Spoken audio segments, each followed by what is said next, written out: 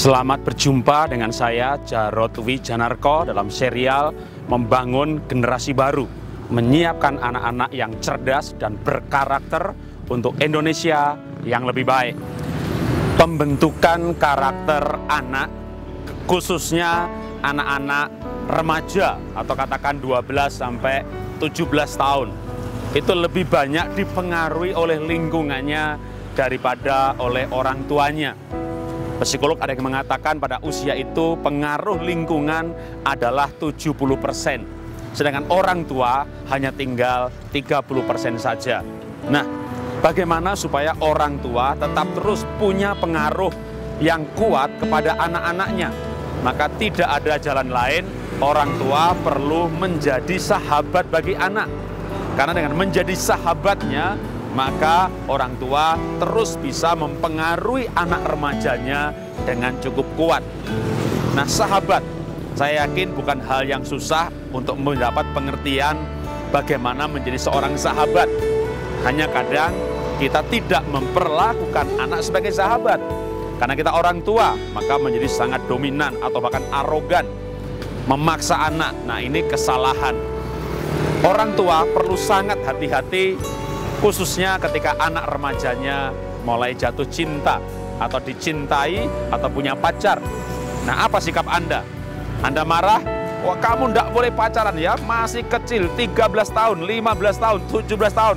Nanti tunggu kalau sudah kuliah atau wah, lebih marah, lebih keras lagi. Kalau anak jatuh cinta atau punya pacar dimarahi, maka dia berhenti bercerita, bukan berhenti pacaran.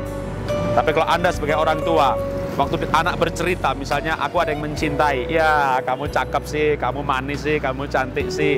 Lalu kita ngajak ngobrol berdua, mojok, seperti pada waktu dulu Anda SMA, Anda ingat? Teman Anda, sahabat baik Anda punya pacar, Anda tidak marah bukan? Tapi ngajak ngobrol berdua, gimana caranya? Eh kok bisa begitu?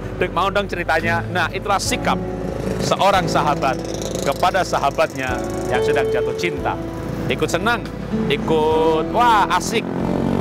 Hanya dengan sikap seperti itu maka anak Anda akan tetap terus bercerita. Artinya ada komunikasi dan Anda justru bisa memberi pengaruh atau nasihat kepada anak Anda mengenai dunia pacaran, memilih jodoh dan sebagainya. Saya dan istri berusaha, berjuang dan berbuat seperti yang saya ajarkan menjadi sahabat bagi anak-anak. Makanya kami punya keluarga cukup terbuka. Bagaimana tidak? Anak saya tidak khawatir dan memberitahu apa password Facebooknya sehingga saya bisa login di Facebook anak saya sebagai mereka dan saya bisa membaca semua tulisannya kepada teman-temannya. Kenapa? Karena mereka tidak takut. Kalau saya membaca dan menjumpai sesuatu akan marah. Kenapa? Karena kita sahabat. Kita ngobrol, berbicara layaknya sahabat. Kita pergi ke mall, layaknya sahabat. Karena itu orang tua. Kalau Anda tetap mau mempunyai pengaruh hubungan yang kuat kepada anak-anak Anda, khususnya anak remaja, mulailah bertindak lebih sebagai sahabat daripada sebagai orang tua. Karena seorang remaja jauh dipengaruhi luar biasa oleh para sahabatnya daripada orang tuanya. Dengan menjadi sahabat mereka, maka kita tetap menjadi orang tua yang punya pengaruh dan bisa mendidik anak-anak kita. Karena mari menjadi orang tua yang bijaksana dengan menjadi sahabat bagi anak-anaknya yang khususnya berusia remaja. Itulah inspirasi dari saya. Salam dahsyat, luar biasa.